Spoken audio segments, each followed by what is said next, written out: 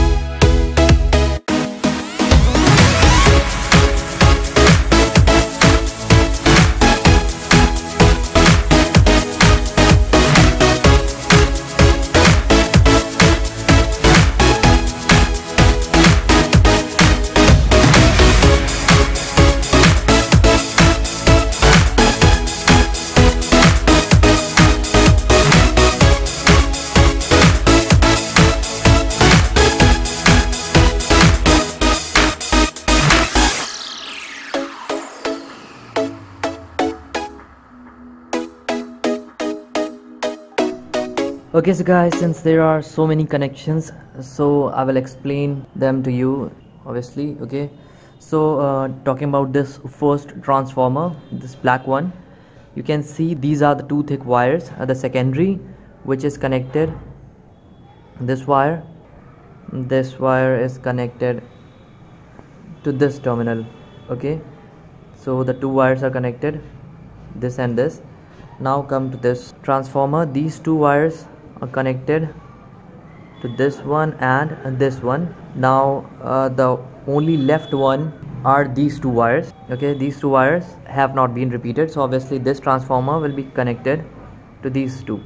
There are two connections for every terminal coming out from the alternator. Okay this has two connections this has two connections and this has two connections. So this way all the three phases of this uh, alternator have been connected to the three transformers.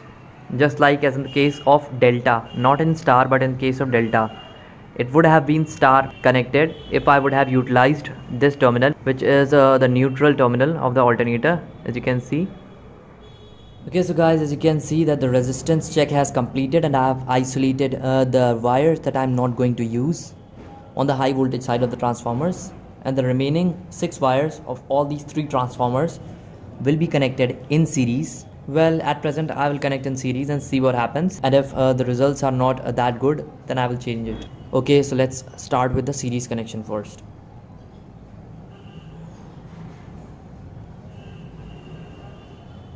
Okay the first wire has been connected here. Now the second wire. Now all I'm left is with these two wires. That is uh, the final output so to the final output of these three transformers I will connect this multimeter to first measure the voltage that I'm getting out of the transformer. So the output voltage is going to be AC so pointing it towards uh, the 200 volts AC mode.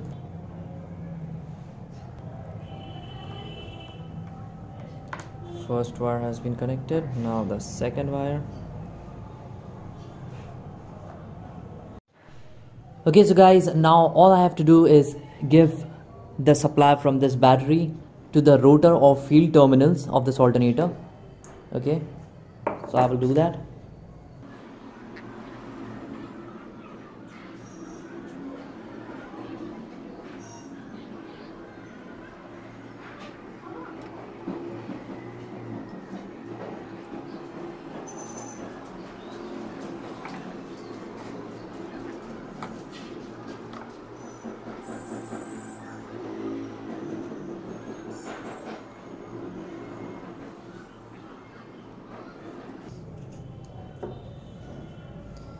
okay so guys as you can see here I've connected this red wire to this uh, red terminal of the alternator.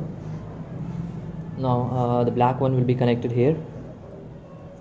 Yeah there is sparking which means that the connection is fine. And also you should see some voltage reflected on the multimeter when I touch this okay? You can see 1.2 volts yeah. Okay so guys i don't know if you can see but uh, the multimeter is pointing here towards 200 volts ac mode and it is connected to the main output terminals from the transformer the two terminals as i showed you a few seconds before. Okay. So now i'm going to use this thread and wound it on the pulley of this alternator to rotate its shaft and then see uh, what voltage i can get here. But before i do that i will have to connect this left out terminal to this blue one. Okay?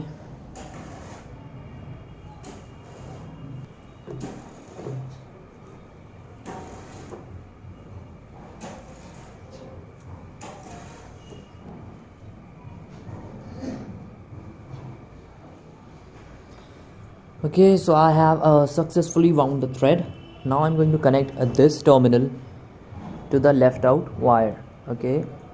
So I've connected it now it's time for you to keep looking on the multimeter screen okay? So go whoa. The voltage was so high that it went beyond 200 volts because of which uh, the multimeter could not read the voltage reading. Okay so now I'm going to move the pointer towards a 750 volts AC well the result is really really good. Let's let's do that once again.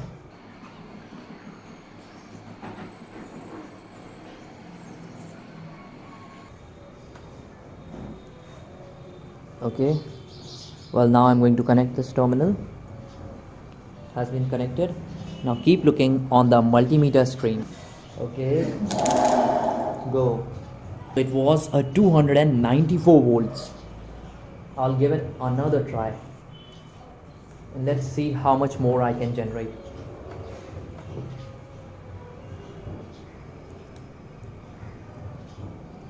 Okay. 298 volts. Okay. So I believe the battery is also very low. It is only 7 volts and around 14 volts 12 to 14 volts is needed to activate uh, the alternator's field or rotor. So if the battery is charged then obviously i'm going to get even higher output voltage. So now it's time to connect some practical loads to it. Okay so guys now i'm going to remove the terminals of the multimeter and connect a 100 watts incandescent bulb okay connections are really simple since there are only two wires. So it will be connected like this.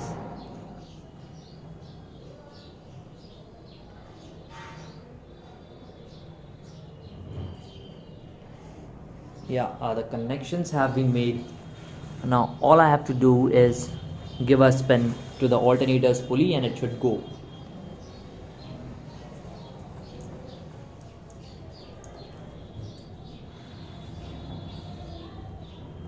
okay. Now the thread has been bound on the pulley. Now it's time to connect this terminal and go. Wow. Even this 7 volts is exciting. The rotor of this alternator pretty good and it is producing high voltage electricity with high current. With the help of these three transformers connected in delta format to the armature winding of this alternator. Let's give it one more try